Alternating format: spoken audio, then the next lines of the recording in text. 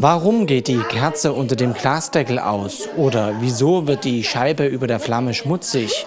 Im Umweltprojekt der Stadtwerke Pirna werden den Kindern anschaulich die alltäglichen Belastungen an unserer Umwelt erklärt. Auch Thaddeus ist bei den Versuchen eifrig mit dabei. Die richtige Lehre aus dieser Übung ist schnell gezogen.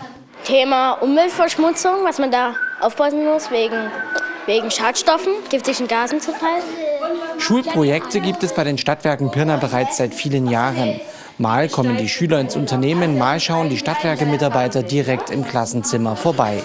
Das Thema Umwelt ist dabei ein recht junges Projekt.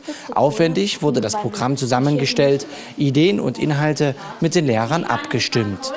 Also da ist schon eine gewisse Vorarbeit notwendig. Man muss sich ja mit dem Lehrplan befassen und eigentlich überhaupt die ganze Sache dann kindgerecht aufbereiten. Und äh, also ich denke mal ein halbes Jahr haben wir schon gebraucht, um die ganzen äh, Fakten zusammenzutragen und dann so zuzuschneiden, dass man sagen kann, so kann man es den Kindern rüberbringen. Wir möchten ja auch eigentlich nicht nur jetzt diesen Frontalunterricht durchführen, sondern wir möchten den Kindern schon auch ein bisschen mit Spiel und Spaß da einige wichtige Sachen vermitteln.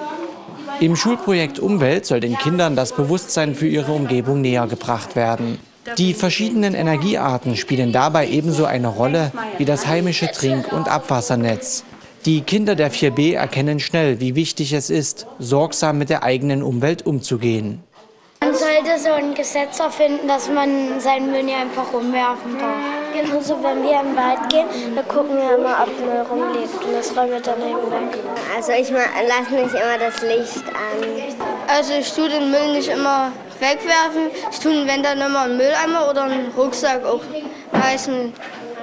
Ja, und ich werfe einfach irgendwie Sachen, die mir nicht schmecken, in den Mülleimer und behalte sie dann lieber und esse dann zu Hause. Ich gebe sie dem Papa oder so. Rund 500 Schüler haben bisher das Umweltprojekt der Stadtwerke Pirna genutzt. Es bereichert den Unterricht und schafft Abwechslung im Schulalltag. Es ist von Schule zu Schule unterschiedlich, die Reaktion der Kinder. Man hat Schulen, wo man das Gefühl hat, also das, die wissen alles, die können alle Fragen beantworten und die arbeiten eigentlich äh, zum Projekt die arbeiten nur zu. Dann hat man wieder andere äh, Schulen, wo man sagt, ja, die hören das jetzt zum ersten Mal. Also das ist wahrscheinlich auch je nachdem vom Zeitpunkt her, wann eben das äh, Projekt stattfindet, ob die Kinder das jetzt im Unterricht schon hatten oder nicht. Aber ich denke mal, äh, es ist eine interessante Sache. Die Resonanz der Lehrer ist so, dass sie sagen, es ist gut, wenn mal jemand anders vor der Klasse steht, mal diese Themen rüberbringt. Und wir versuchen ja auch mit unseren, äh, will man sagen, Wettspielen und mit unseren Sachen, die wir so einflechten, äh, die Kinder da auch ein bisschen ja, aktiv mitgestalten zu lassen. Lebendig und unterhaltsam hat die Klasse 4b der evangelischen Grundschule das Umweltprojekt erlebt. Für Thaddeus ist die Sache jetzt klar. Er weiß genau, auf was wir alle in Zukunft achten sollten. Also man muss achten, dass das Wasser sauber bleibt, dass die Luft sauber bleibt und dass die Erde sauber bleibt. Das Umweltprojekt der Stadtwerke Pirna wird es auch im nächsten Schuljahr geben. Neben den Grundschulen soll das Angebot dann auf die Förderschulen erweitert werden.